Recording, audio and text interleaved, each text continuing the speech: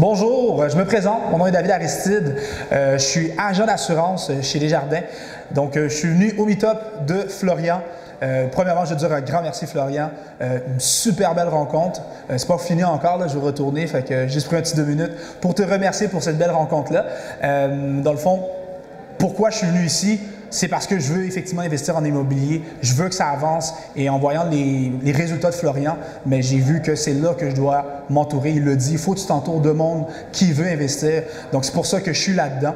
Euh, donc euh, je te dis un grand merci, Florian, pour tout.